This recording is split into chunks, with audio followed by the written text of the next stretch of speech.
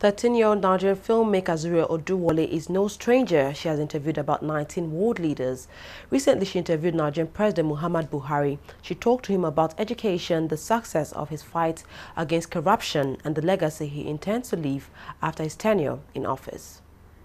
Last month, I was in Namibia to meet with President Geingob as he celebrated his first anniversary as president. Now, his priority for Namibians was education. Next month, it would have been a year since you became president.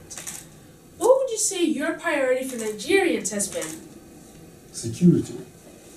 And I said it uh, a long time, even before the election, that Nigeria, at this stage of development, has uh, three fundamental priorities. One, security. The country has to be secure before it can be efficiently managed. Uh, secondly, the economy. Uh, employment. Uh, Nigerian population, more than 60% uh, is youth, and youth are described from 35 years and below. Uh, most of them are unemployed, whether they do school or not. So that's a very serious threat to national security. And then, of course, the side one is uh, corruption, how to fight corruption. Right. Yeah. Now, in the last many months, on the news about Nigeria, the most topic has been on corruption and how your government is trying to fight the corruption. How successful will you say this fight has been? Well, it has been successful in the sense that um, we have identified uh, areas where most damage has been done to the economy in the sense of uh, lack of accountability in the oil sector, which okay. is the main source of revenue in the country. Uh, secondly, how people who have been uh, trusted uh, with the treasury uh, having been um, honorable enough to account for what they have been taking from the treasury.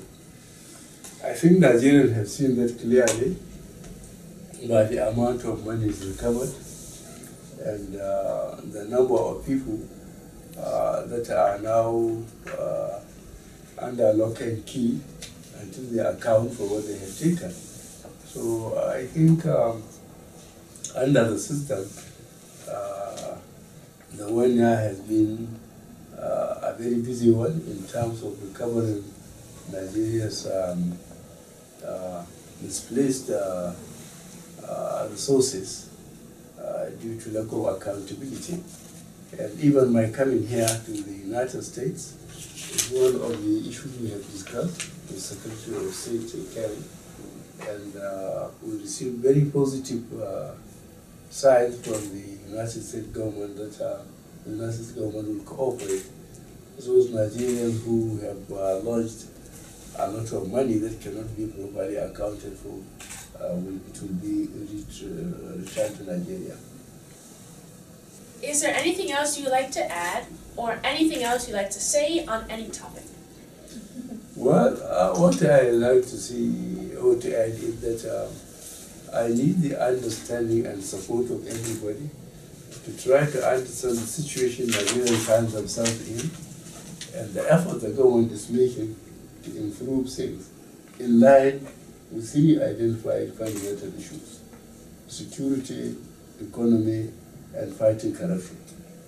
We want people to make an attempt, a genuine attempt to understand that, and the efforts we are making to make sure that we deliver.